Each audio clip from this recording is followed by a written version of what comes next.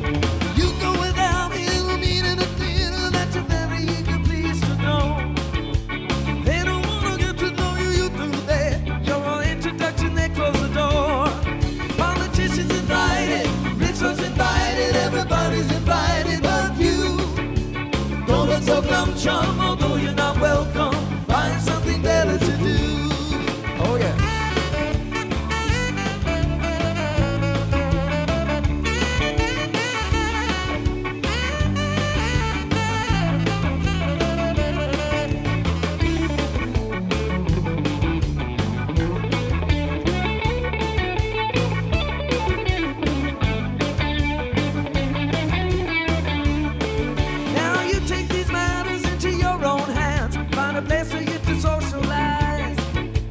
So off you go to your local establishment to drink with friends that come down to your size. They're not too quick, take you right in, wrap you in their loving arms.